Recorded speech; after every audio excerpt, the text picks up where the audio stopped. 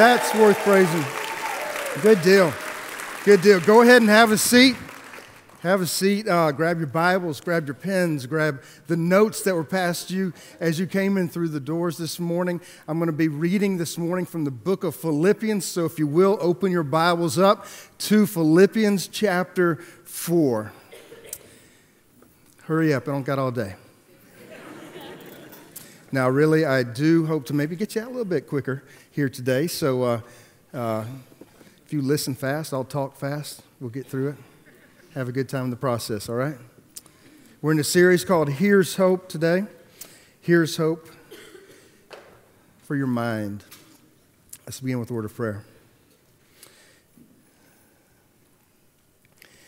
Heavenly Father, um, as we worship you and praise you and come with thanksgiving today.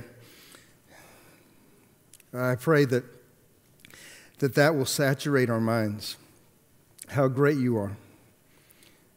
That we will focus on your incredible works, what you have done in our lives. And Father, by faith, look forward to what we know you will accomplish in us. Father, have your way.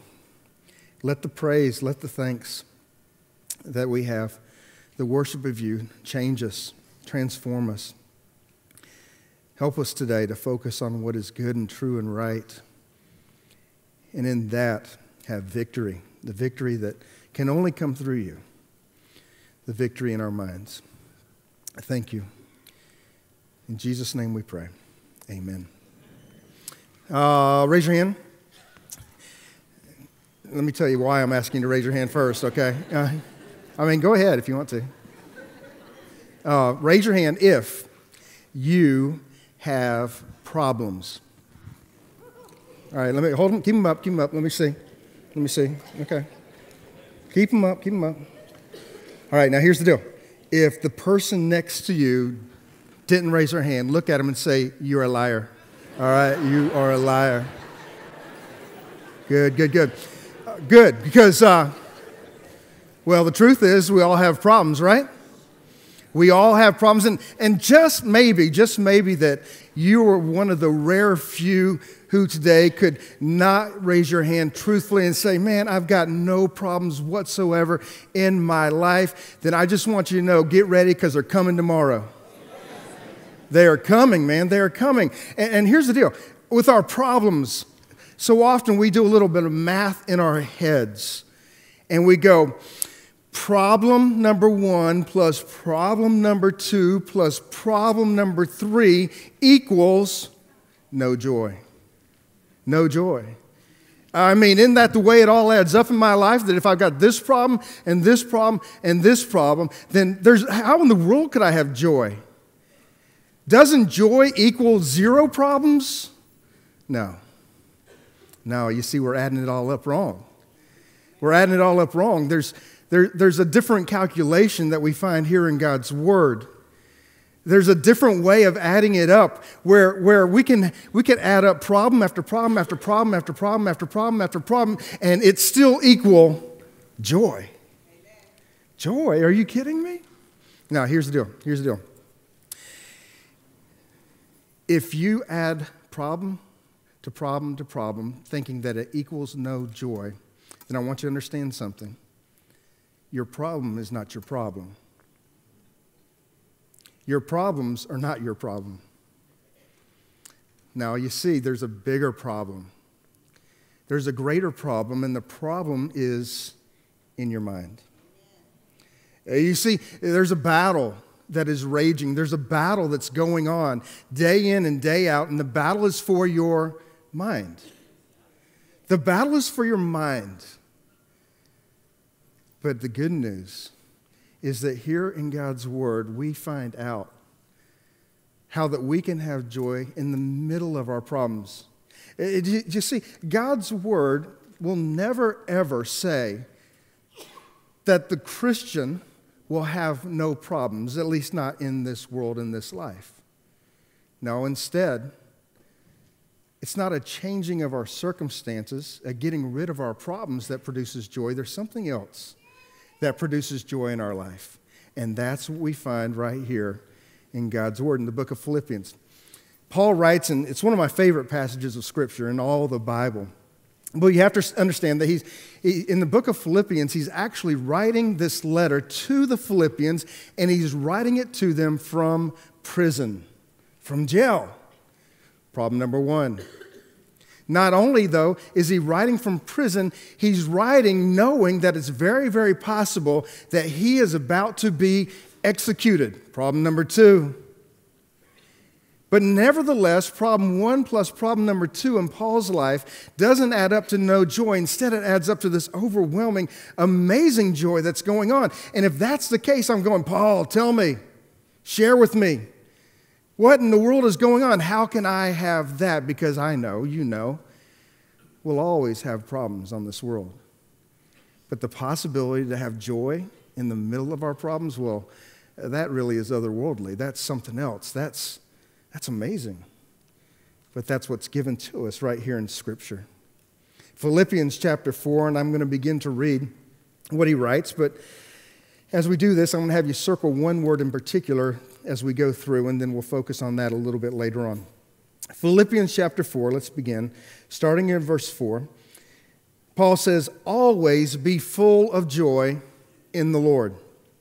I say it again as if once wasn't enough, he wants to make it really, really clear. Always be full of joy in the Lord. I say it again, rejoice. Now, that's the word I want you to circle, okay? Circle that word. We're going to circle around back to it a little bit later. And then he says, Let everyone see that you are considerate in all you do. Remember, the Lord is coming soon. Don't worry about anything. Instead, he says, pray about everything. Tell God what you need and thank Him for all that He has done. And then you will experience God's peace, which exceeds anything we can understand. It's says, peace will guard your hearts and your minds as you live in Christ Jesus. And now, dear brothers and sisters, one final thing He says fix your thoughts on what is true and honorable and right and pure and lovely and admirable. Think about things that are excellent and worthy of praise. Now, here's what we're going to do real quick this morning. As we look at this scripture, we're going to find that not only does Paul address the enemies of our mind, the common enemies of our mind, what I call the three big ones, he addresses that. We see that. But then it's not just it's not just saying don't let this enemy win in your life. He shows us how to do it. He shows us what to put in place where this once was. And so that's what we're going to look at here this morning. I hope you're with me on this. But we begin, first of all, with the thoughts that will steal away our joy and peace. These are the big enemies of our minds. Any, uh, anything else that occupies our minds that's negative really kind of relates to one of these big three, okay? So let's begin with the first one. Number one is simply this guilt for my past. Guilt from my past. Real quick, raise your hand if there's anything in your past that you are not very proud of. Yeah, okay. That's most of us. That's most of us. It's pretty good. Well, what happens as a result? Well, so often that guilt from our past, we end up carrying it around for the rest of our life, don't we? We look back and we say, Well, I shouldn't have done that, and I hate that I did that, and I wish I could go back and fix all that. I wish I could do it over. I wish I could change all these things from my past. But the truth is, we can't. So, what are we, what are we uh, going to do then? Well, maybe I just got to carry it around. Maybe this is my burden to bear. Maybe this is what I got to wear the rest of my life. But there is another option. There's another option. We find it here in God's Word, we find it in Scripture. Psalms 51, verse 12. Look what David says, King David. He says, Restore to me the joy of your salvation. Now, that's important. And if you study the, the Bible, if you study Scripture, if you studied Psalms at all, you would probably realize and know that uh, King David, at one point in his life that this, this uh, psalm is referring to, did something horrible. He did something awful, really terrible, certainly something not, not something a good king would do. What did he do? Well, he had an adulterous relationship with another man's wife.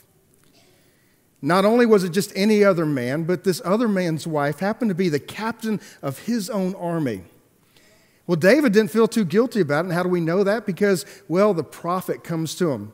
And the prophet has to tell David, David, David, You did this and it's a terrible thing. Don't you even see this? And it's only at that point that David suddenly goes, Oh, no, you're right. How terrible, how wrong of me to do that. Well, you see, David did this, and he even took it a step further in order to hide the pregnancy. Well, he had a, had a hit almost pulled out on the captain of, of his guard. And that's when the prophet comes. That's when it's revealed. And that, at that time, was when David repents. That, at that time, is when David realizes.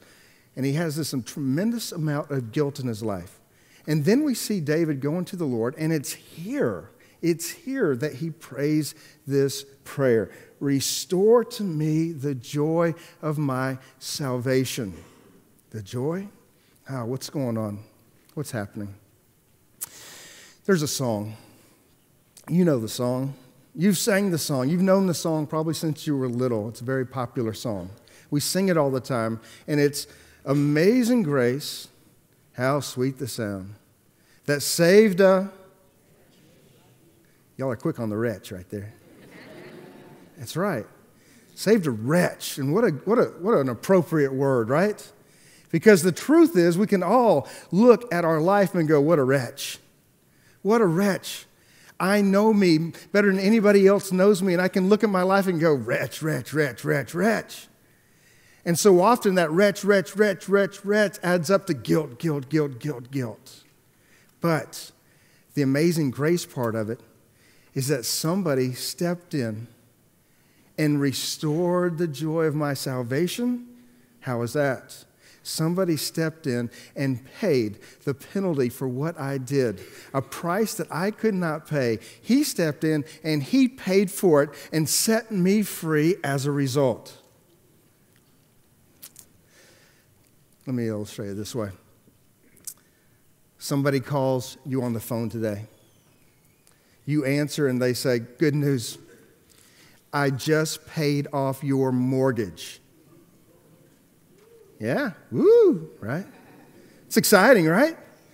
Or maybe you don't have a mortgage. Maybe somebody calls and says, Good news, I just paid off your car.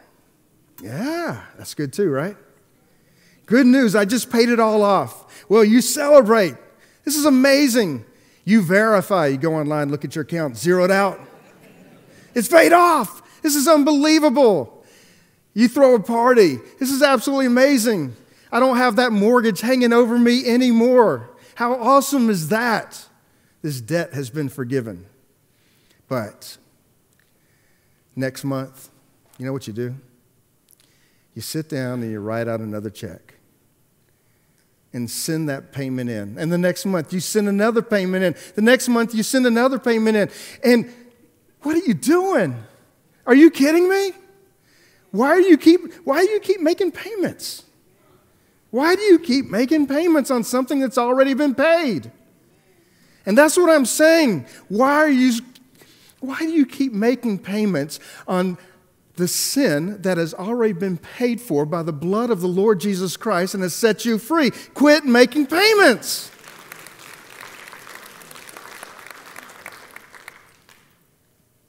And there's the joy of your salvation. There's the joy. But do you see how that guilt and the evil one loves to come in and bring up the past? The evil one loves to come in and speak. Do you remember this? Do you remember this? Oh, you'll never be able to pay that off. It's already been paid. And that's the joy of your salvation. But oh, how so many of us walk around day in and day out, our mind occupied with the guilt of my past, even when it's already been paid for. Thoughts that will steal away my joy and peace. Number one, the guilt for my past. Number two, the fears for today. Fears? Fears. Do you have any fears? Now, when I say fears, I want you to think a little deeper than some of the, maybe even the, the good fears that we might have in our life. What are some of the good fears? Uh, the fear of things that can harm us, right? And so you have a healthy fear there. Um, uh, my wife is very, very afraid of snakes. And so much so that we'll be in the backyard and, and uh, I'll say, hey, come over here. And it's some pine straw. She goes, I ain't walking over there. I said, there's nothing here. I'm over here. She goes, I ain't going over there. Uh-uh, I'm not th-. thinking snake. And that, that might be a healthy fear. It should have been a healthy fear for me. When I was young, I, I, I got in a lot of trouble because I would go out looking for snakes and I would catch snakes and I'd bring these snakes home, poisonous snakes. People would be calling my parents, man, you need to do something with that kid. You need to do something with that kid. That kid's messed up. I didn't have a fear at that time of snakes. And over time, I developed a healthy fear of snakes, right? Like, wow, that could, that could do some damage. That could really hurt. So I'm not really talking so much about those kind of fears, but I want to talk to you this morning about some emotional fears. Some emotional fears. Uh, and so when I say, uh, what are your fears? Maybe some of you would say, well, I have uh, a fear of rejection, which a lot of us do, right? A fear of rejection. And we can remember those times where we felt a little bit rejected. We didn't feel a part of a certain group of people. And so we have this fear and we never want to put ourselves out there too much. Maybe somebody will reject me. Or maybe it's the fear of failure. And I really don't want to try something because if I try it, then there's a possibility I might not succeed at it. And so I have this fear of failure. And maybe there's the fear of somebody leaving me, the fear of abandonment. Or maybe it's the fear of public speaking. That's my fear. It is, really. the fear of public speaking. I don't want to, man, what if I mess up? What if I, and, and, and that fear grips us, that fear holds us, you see? And we go on and on and on with these different fears. But I want you to, I want you to do something with the fear that maybe popped in your mind just now, okay? Because that emotional fear, if you follow it back, I mean, just kind of follow it down the stem and maybe into the roots, okay? And what you're going to find at the root of so many of these fears that we have in our life. Maybe it's the fear of rejection, the fear of what other people think. You know that fear, right? Uh, whatever it is, the fear of failure, fear of abandonment. Follow it down, follow it down. And what so many, what we're going to find at the root of so many of these fears is an issue of worth, the issue of value.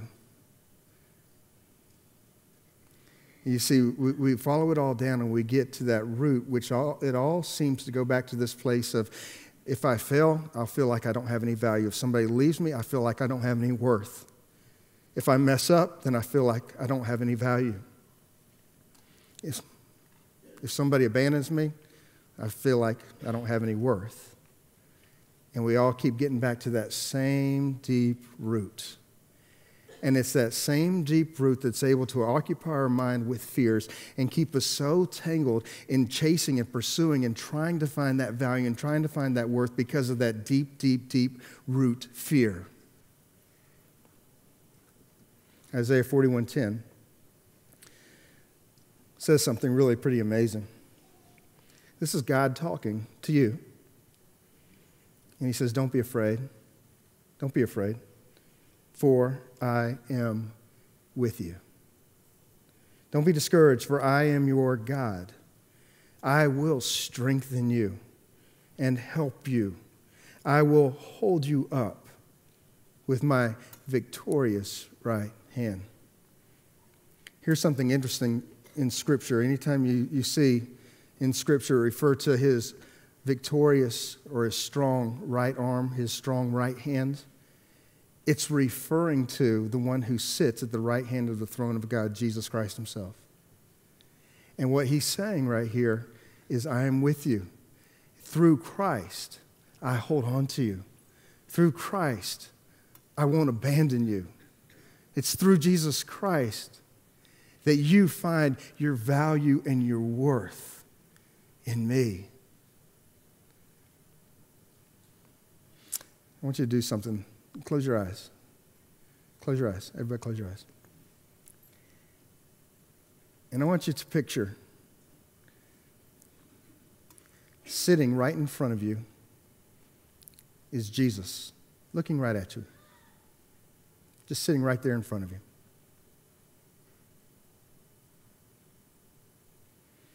Now, as you do that, I want you to hear him say this to you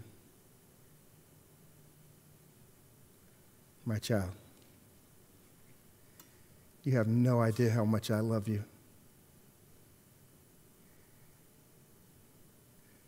You have no idea how valuable, of great worth you are to me. I'm proud of you. And I love you so much. I'll die for you. That's how special you are to me.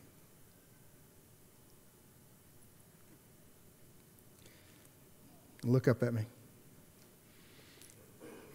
Some of you have been dying to hear those words your whole life.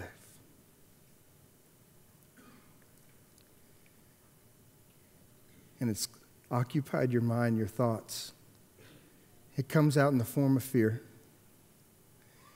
But when you know, when you realize, when you see the incredible value and worth that you have in Him, you can rest.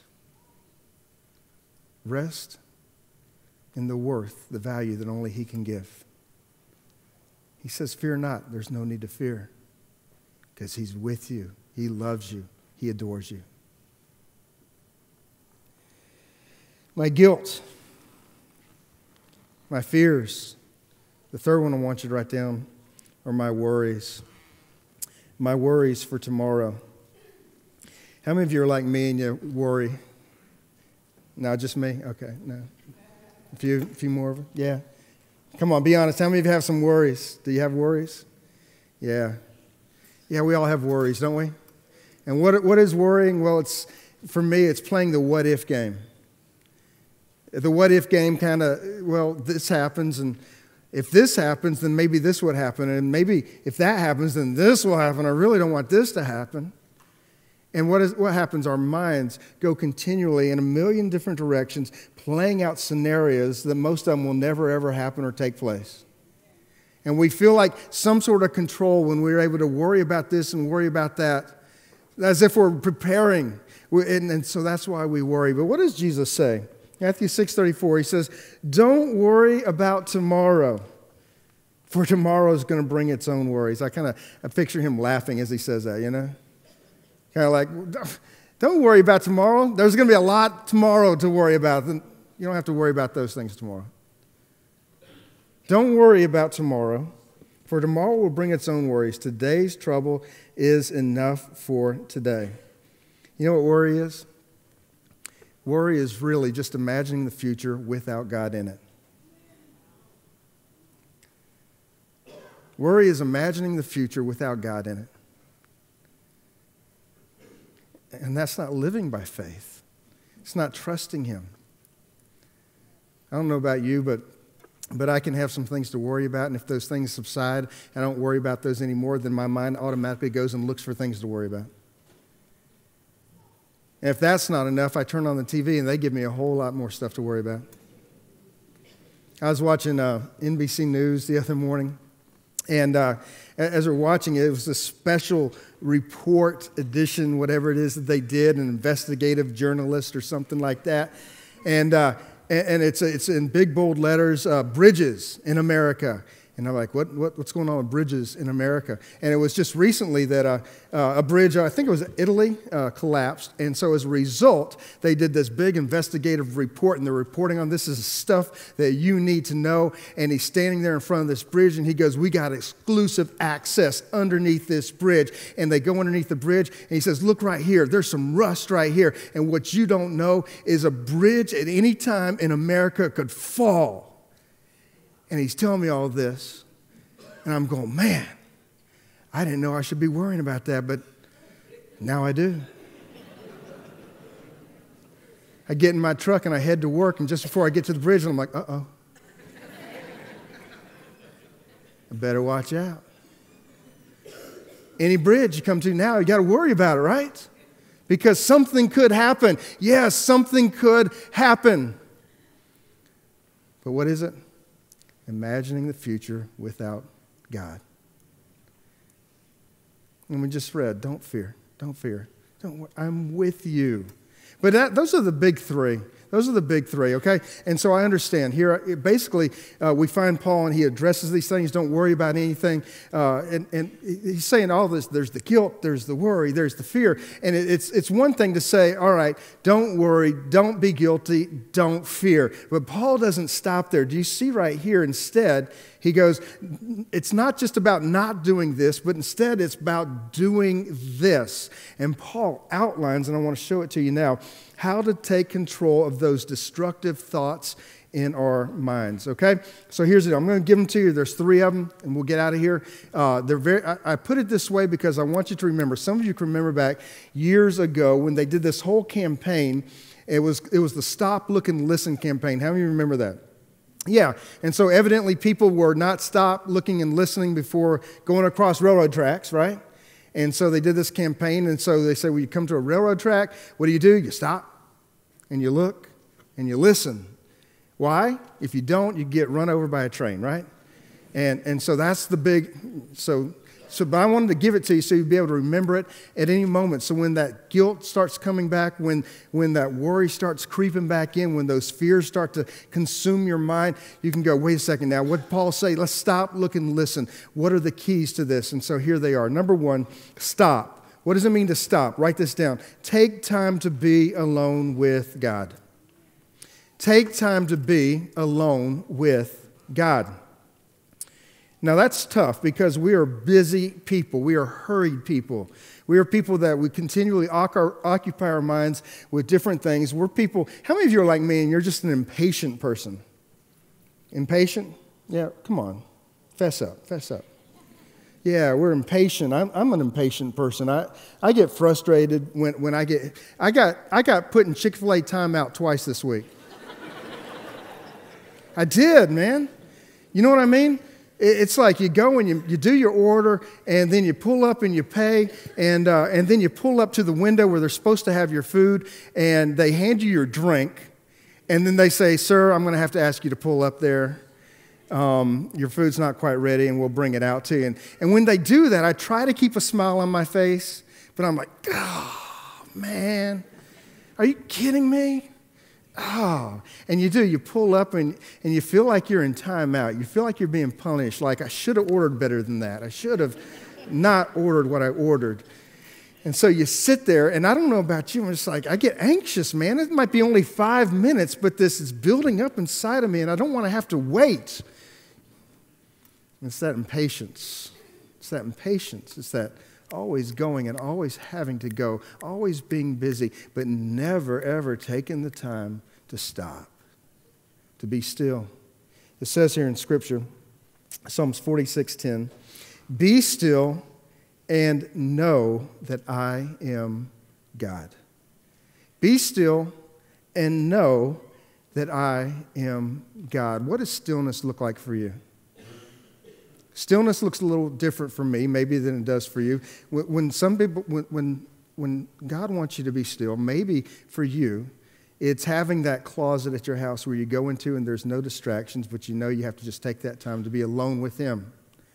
Maybe for you, it's in, in the car and you can turn off the radio uh, and, and you can just be, be in that, that uh, the car by yourself and talking with God. Maybe that's it, being still there. For me, it's walks. Um, I do a lot of walking. Uh, my neighbors will tell you they see me every single morning out walking my dog. Um, uh, I walk around just around the backyard. My wife, she'll tell you, I'll just get out in the backyard. I'll just walk and walk and walk in circles, you know. Um, here at the office uh, or at the church, uh, Uh, a lot of the people who work here throughout the week see me just out walking the parking lot. I'll go walk in parks. For me, it's walking, but please understand when I'm out there walking, those are moments where, where I'm able to get quiet from everything else and I'm able to simply take everything to Him. And that's what it is. Paul says, pray. Pray about everything. That's what it means to be still, simply taking everything to Him. I think it's so interesting how for so many of us, prayer is not our first choice, but it's our last resort. Do you know what I mean? Because we're fix it people. And so we'll have, remember, problem number one and problem number two and problem number three, and they pop up. And so what do we do? We start to try to deal with problem number one and fix problem number two and handle problem number three. And we go at it with everything that we can, and that keeps us so busy chasing down, trying to fix all these problems. And finally, when we get to the point where we realize, I can't fix it, we say something like, Well, I guess the only thing we can do now is pray. Last resort. And what we don't realize is that we have been given this amazing privilege by God to take everything to Him in prayer. Not only that, He wants us to come to Him with that. How many of you remember when you were a, a little and, and, maybe it was your brother or sister and uh, you were young, or maybe it was uh, somebody that, that was, uh, you were playing with at the time and they wronged you? They did something that you didn't like. And so your response to them really quickly was, I'm going to tell. Remember that? Remember that? I'm going to tell on you. I'm going to go tell dad. That's what I'm going to do. I'm going to go tell dad. And what that was, was you appealing to a higher authority who could actually handle the problem that you were facing. And in a weird sort of way, I want to challenge you to do the same thing, even now, with everything that you face in this life. It's going back to that point where you realize that you are a child of the Almighty God. And no matter what happens in your life, you can scream out, I'm going to tell dad. I'm going to tell dad because I've been given that privilege as his child. And he welcomes me into the presence, his presence, with no matter what it is in my life. And so we begin here. We begin by stopping and taking time to be alone with God. And the second thing I want you to write down, number two, is to look. We stop and then we look. What does it mean to look? Write this down. Thank God for all that He has done. To be in a constant state of thanking God for all that He has done in our lives. Psalms 100, verse 4 says, Enter His gates with thanksgiving, go into His courts with praise, give thanks to Him, and praise His name. Uh, several years ago, when I was just meditating on, on this scripture right here, um, it was as if a, a, light bulb went off in my head, and I, I, saw it, I read it in a completely different way than I had read or, or seen it before. Before I would read this and go, enter his gates with thanksgiving, go into his courts with praise. And, I, and I, it was translated in my mind that when you go in to talk and pray to God, that you should begin by, by thanking him and praising him. And yeah, that's very much probably what it means, uh, at least partly. But I think there's more to it than that. And I think what it's saying is that through thanksgiving and through praise, those gates open wide. Through thanksgiving and praise, you find yourself in the presence of God. It's through thanksgiving and praise that you actually have God's ear. You have His attention. And you enter His courts with thanksgiving and with praise. And that transforms your mind when you do that. You see that when my mind is filled with thanksgiving, I don't have my mind filled with these other things that have been occupying my mind. Thanksgiving. I have a, uh, I've been diagnosed with, uh, years ago now, diagnosed with uh, glaucoma. And uh, if you don't know what glaucoma is, they kind of explained it to me this way that uh, uh, you're going to have to keep taking these drops the rest of your life, or else pressure builds up in your eyes. And if it builds up too much over time, all your peripheral vision starts to go first, and gradually it's as if suddenly you get this tunnel vision to the point that suddenly you can't see anymore. But it's a slow process over time where you just lose your eyesight. That's what glaucoma is. Uh, the only reason I'm telling you that is because I think we as Christians often, often get what is called spiritual glaucoma. Do you know what I mean by that?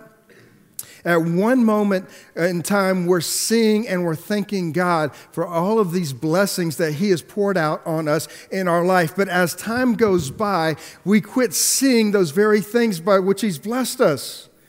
It starts to gradually fade away. It changes. We don't see it for what it is anymore. And this has devastating effects on our life. It has devastating effects uh, in, in a marriage. Think about this for a moment. And by the way, let me just tell you guys this, okay? I'm kind of proud of this.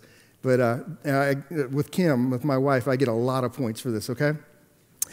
Um, I, and I tell her this every once in a while, I can remember exactly what she was wearing the first time I ever saw her.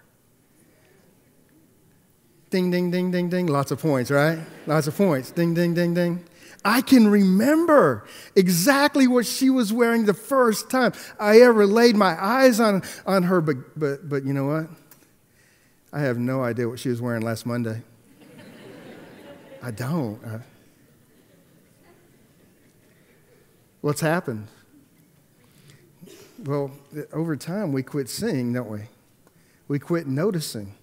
I, I don't know, uh, Kim does this, this every once in a while. I don't know if all you ladies do this, but uh, um, I think sometimes she tests me a little bit, you know?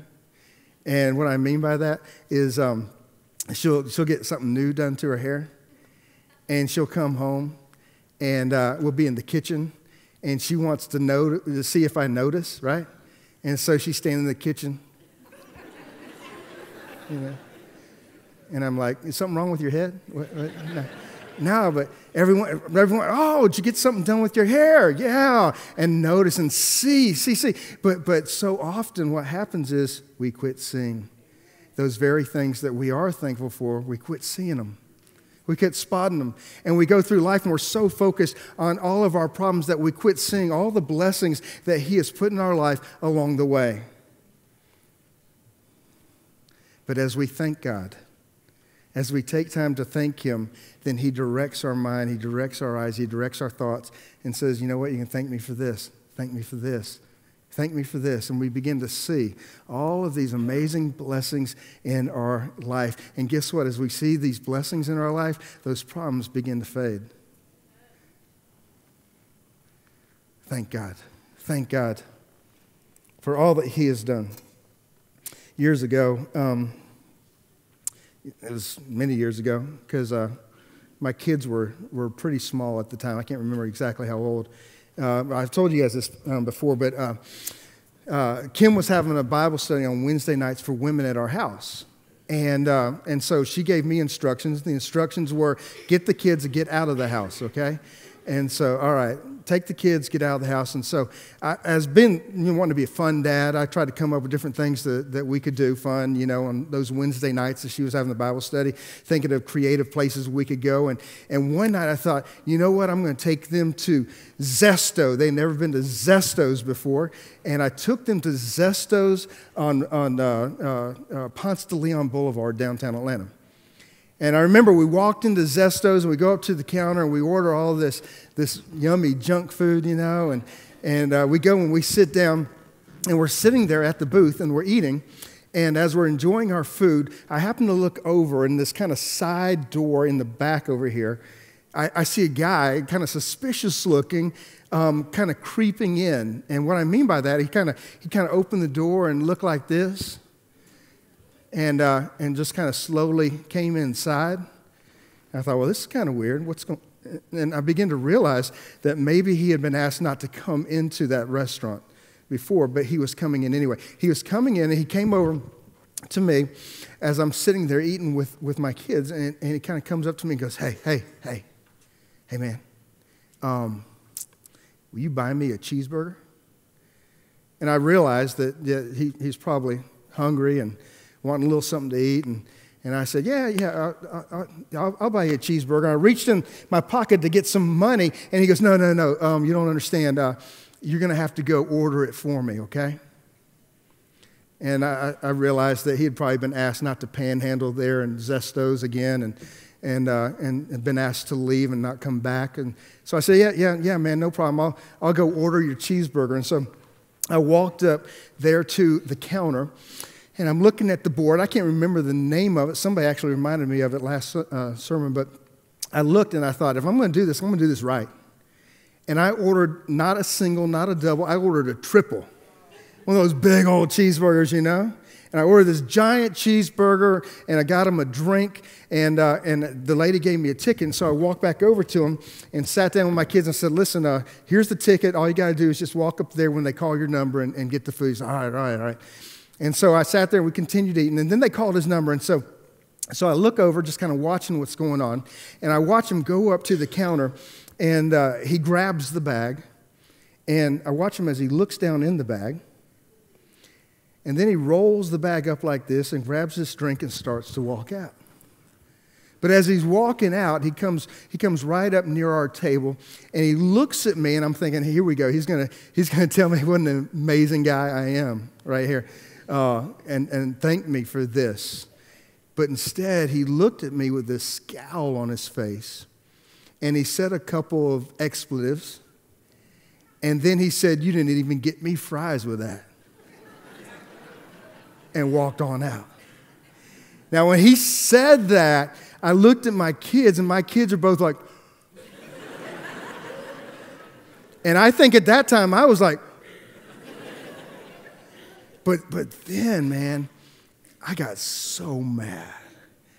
I, I, I started, how dare he? How dare he? How dare he say you didn't get me fries with that? I went and I bought him the biggest burger I could find, and, and, and, and he said, and as I'm sitting there seething in Zesto's, it was almost as if I heard God say, What you so mad about? I mean, really, what you so mad about? How many times have you done the same thing to me? I've given you this and this and this and this, and all you can do is keep looking at me going, didn't even get me fries with that.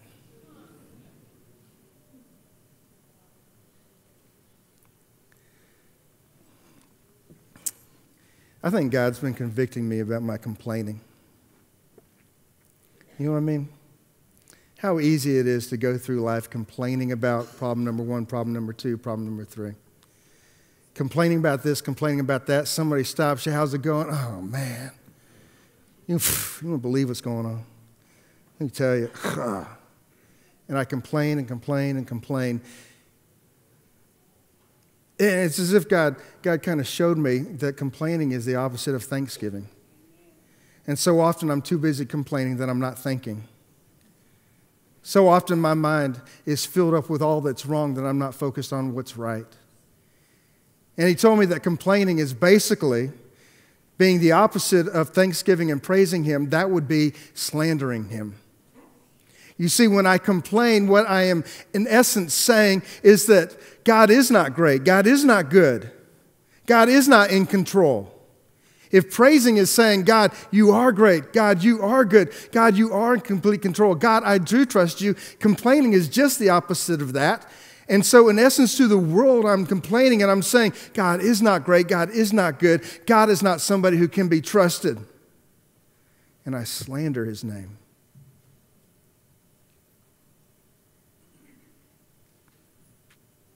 I think so often sometimes that the only thing we really want from God is garbage pickup. You know what I mean by that? It's once a week we have the garbage truck come to our house. Once a week we, we get all our garbage and we go take it down to the, the, the, the curb and the garbage man comes and picks it up, carries it off, and we got another week to go. And I think sometimes all that we really want from God is to be that garbage pickup God. God, come take all the junk out of my life. Come fix everything. I'll see you next week.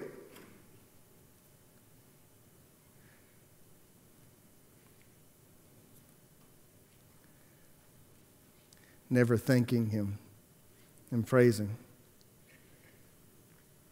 for all the ways that He's poured out this blessing in our life. I don't know about you, He's just been convicting me about that lately. But look, look, look and thank God for all these things that He has done. And then, number three, we stop and then we look. When we look and we thank God, we fill our minds with thanksgiving that we don't have room for complaining. And then number three is to listen. Listen. What is listening? It's filling your mind with His truth. Filling your mind with His truth. Eastern meditation suggests that you empty your mind. Biblical meditation says to fill your mind. It's very, very different. Filling your mind is putting the Word of God, putting His truth inside of us what is true, honorable, right, pure, lovely, and admirable. Think about things, he says, that are excellent and worthy of praise. One second.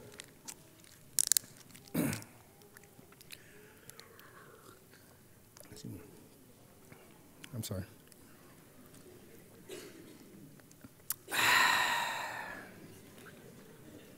Hold on, one second.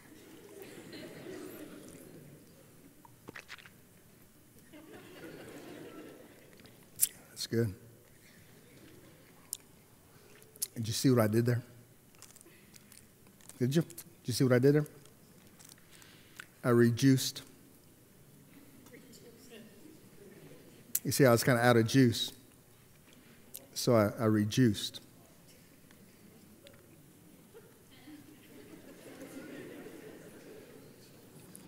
See what I did there? Some of you, some of you, you walked in without joy, all out of joy. Paul said, Rejoice. Rejoice. How do you rejoice? How do you rejoice? When you got problem one, problem two, problem three, when you got these problems, how do you rejoice? You got to rejoice. you, you, you, see, you see, there are some of us, there are some of us who are worn out. Our life is falling apart. We're going crazy in our minds, and it never once has occurred to us. Six months. I talked about last Sunday that there are Christians who are spiritually dehydrated and you are exhausted and you're worn out, you're ready to completely give up, you have no hope, don't you know that you rejoice in the Lord? That you fill your mind with what is good and true and right, all that you find in Him. Have you friends who will speak the truth in your life? Do you study God's Word? Do you find time to listen to a message, a sermon? Do you spend time walking alone with Him? Do you take time to rejoice in the Lord? It's there that you find your joy in the Lord. Oh, if you're tired, if you're stressed, if you're worn out, rejoice. Rejoice in the Lord. Let's bow in a word of prayer.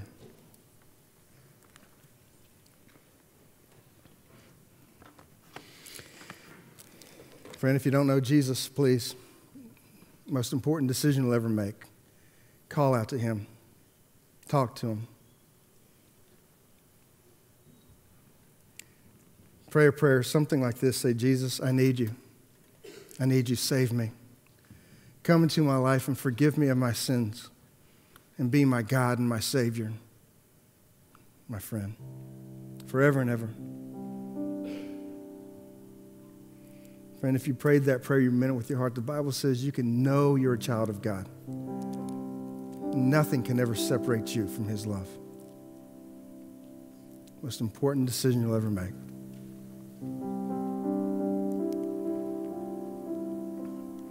Father, I thank you for those who just prayed that prayer. I thank you that they now belong to you, you belong to them. Help each one of us to realize that, to know that, to walk in that each and every day to fill our minds with what is good and true and right, all that comes from you. And it's in that that we find joy. Thank you. In Jesus' name we pray. Amen.